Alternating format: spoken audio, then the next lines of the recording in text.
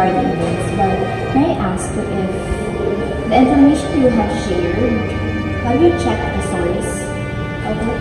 Um, maybe, yeah, a little bit, but I know that 100% that I'm really sure that that's a real one.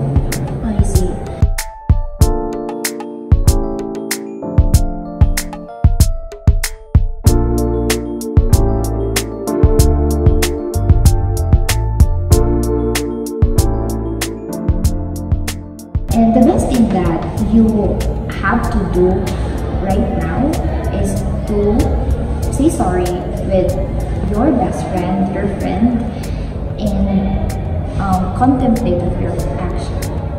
Okay, ma'am, I know my mistakes. Thank you so much for your advice. You're